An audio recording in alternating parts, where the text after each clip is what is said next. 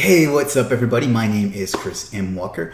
I, I am the founder and CEO of Legiit. And the, the video I'm about to show you is a part of a sequence I put together for you to help you make money on Legiit. Legiit is the number one freelancing platform for marketers, agencies, businesses, affiliate marketers, and just anybody in the marketing or agency space and it's growing and it's going to become the number one platform in the world. And I wanted to show you how to make money on Legiit, whether you're a freelancer or whether you you just want to do a little side hustle or make a full time living doing freelancing. This series is for you. This is going to be one of the probably ten or so videos in this series.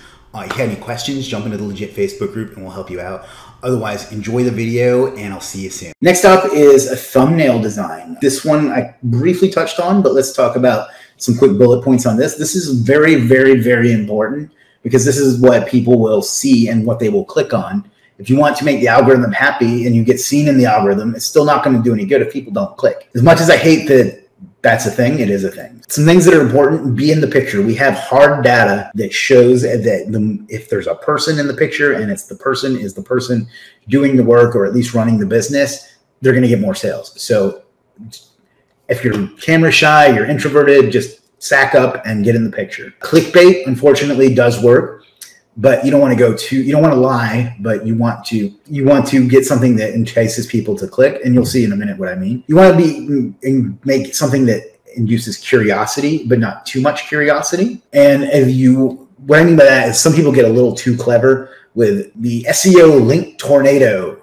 That's really cool, but I have no idea what that is. It's curious, but if somebody else has the same service and it says powerful backlinks from my network or something like that, I'm more likely to look, click on that. So you got to find a balance between being something that makes people want to see more, but not too much that they don't want to look. You want to have a consistent look for all your thumbnails so people will visually recognize you when they see them. I'm going to take a look at some of mine and show you some that are good and some that are not.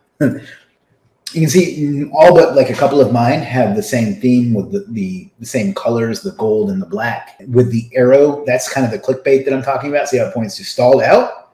This gives you an idea of what it is, but it's not exactly, it's clickbaity, but it's not too clickbaity. It gives you an idea of what it is, but you need to know more. And same thing, kind of thing here and here. This one is one I did myself, if you can't tell. I thought it'd be really clever, and we're going to talk about this service again later, but this service doesn't sell at all. Like it's been up for like three years and has eight reviews. So it just doesn't sell very well. And that's partly because of that. Uh, I'm kind of emotionally attached to it, but this is a good example of how important that is. You can see 17 reviews, 642, 432, 1558, 672, eight. So you can, that's a great example, I think, of how important a thumbnail is. Now there's other things to consider too, but that's kind of that. So let's just review that real quick. Be in the picture, just, just get over it and get a picture of yourself it's not that hard. Most of us have a camera. Clickbait, you know, so stalled out and with an arrow pointing to it. Curiosity, so they're not exactly sure what it is, but it don't be too clever so they don't click. And then a consistent look.